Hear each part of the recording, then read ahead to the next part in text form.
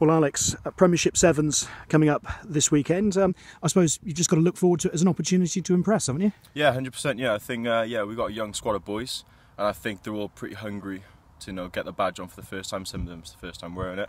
Um, I think we've got an exciting young group, so I think I'm going to go out there and show what we can do individually. Obviously, it's very different to 15 aside, but how good a, a season starter is it, if nothing else, as a test of fitness? Yeah, yeah, no, we've we've had a quite a tough pre-season, obviously here at Gloucester, and um, you know some boys have been you know, on the knees and they've been pretty much, pretty much uh, out cold with the fitness. So yeah, it'll be a good test, good test. Yeah. I mean, you mentioned pre-season's been tough, I suppose, because of the length of pre-season this year. They've been able to the other coaches have been able to test you that way because they know the recovery is coming as well. Yes, hundred percent. I mean, we've had a couple of weeks off and it's been nice, but getting back into that pre-season, getting back into that running and fitness, you know, it's what we train for, and now it's putting us to test with the sevens. And a chance finally to get some ball in hand against opposition, which I suppose you must just have been craving. I mean, at the start of pre-season, whenever that was, that must have just seemed months, years away. Oh yeah, I know. Yeah, that's what we were saying to the boys earlier when we were training. We said, you know, it's a it's another game. We haven't played in a while, so just show what we can do, and then uh, hopefully our individual skills can get us the Ws. And hopefully not ring rusty. Oh no, hopefully not. No, I think we're all pretty uh, excited for it. You know we'll get ready and go. What do you make of the group? Obviously, you kick off against London Irish. Um, yeah, I think it'll be a good test. I think it'll be a good game. I think um, it'll set the boundary for the competition, and hopefully, you know, like I said, we can get the W. But yeah, it'll be a good test for us.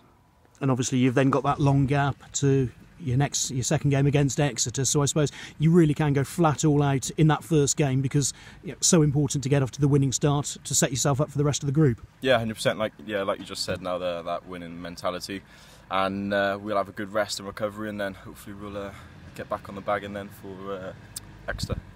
As one of the more experienced uh, players in the group, how much can you just sort of help some of the younger players? I mean, I know it sounds an odd thing to say, but how much can you help some of the, the players who haven't quite been here before through?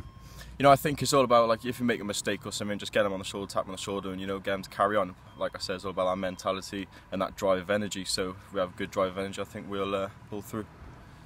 And obviously, the first team away in Portugal, so you know, you have been able to get this group together and actually see it as an opportunity. So, you know, how much is that just an opportunity for you guys to impress and almost lay down a marker for you know the, the big name players, the stars when they come back. Yeah, hundred percent. I know, like we said, uh, it's just playing for the badge.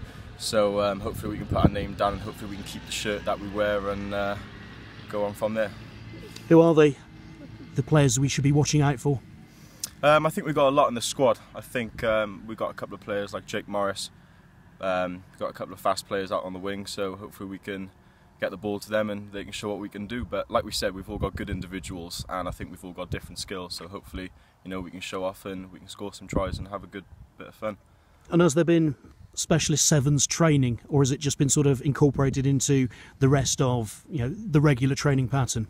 Yeah, I think um, we're starting to do training now, building up to it. But from the last couple of weeks, I think we've just been focusing on you know carrying on our pre-season, to carry on our fitness and carrying on just individual simple skills and our basic skills, and then hopefully our basic skills can you know catch pass all them simple stuff can get us to get us to a nice game and hopefully win.